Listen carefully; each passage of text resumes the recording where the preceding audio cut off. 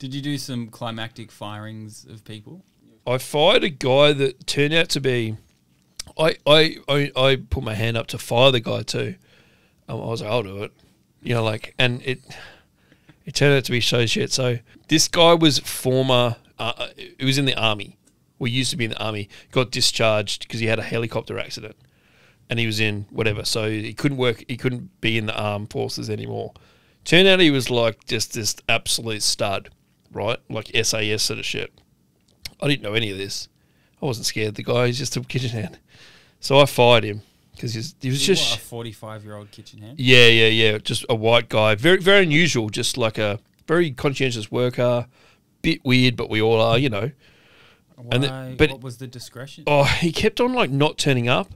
But what he was doing was having just episodes. He was having like mental health episodes. You hmm. didn't know. He didn't tell you. But he wasn't showing up for work. And then when you just come to work and tell the kitchen hand that we'd managed to get because he wasn't there to leave. And then he just, all of a sudden, he would just be there doing dishes. And You're like, where's the other guy? And where are you ever? Yeah. Right? So that was that. And they were like, oh, we got. camouflage on his face. He's like all painted up, He used to come with the.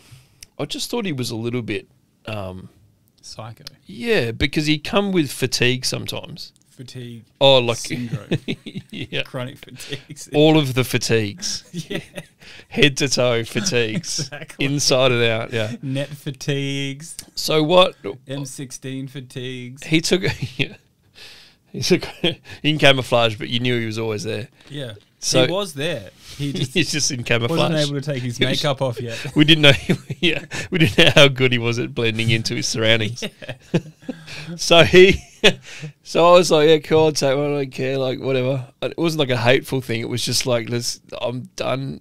Because I would have to do the dishes, and and everyone would have to. So I was, I'm I'm so sick of doing the dishes when he doesn't show up and all this sort of stuff. Yeah. Just get the guy he keeps sending away. So I was uh, really politely. It was like, dude, we can't have. We need someone that's reliable. And, and I was like, I knew a guy down the road that would just employ her. So that was the main thing. I was like, dude, if you want a job there, it's just everyone here, you know. And he was kind of cool about it. But when we we left for the Arvo, and we had a function at night, so it wasn't we could have a break. So we went on a break, and we got a call of like, fuck, the the gas is on, and the the the fireys are here and shit.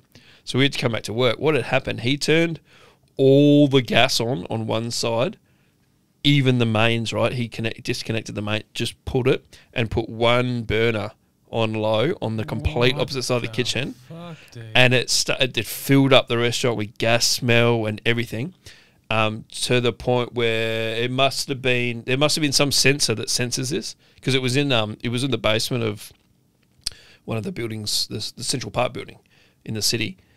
And um so it, there must have been some sensor that shut it off or that made the fireys come because no one rang them no one in the restaurant rang them they were just like what's that smell all of a sudden they were there or they come, I don't know, whatever. Anyway, we had to come back, and then that's what the fire is like. Yeah, dude, are you are you try? They were like, are is any of you trying to explode a place? Because this is exactly how you would do it.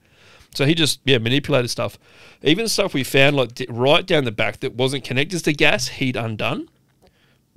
So he was just trying to flood the gas and had this little tiny flame. I was like, dude, this absolute commandoed the place.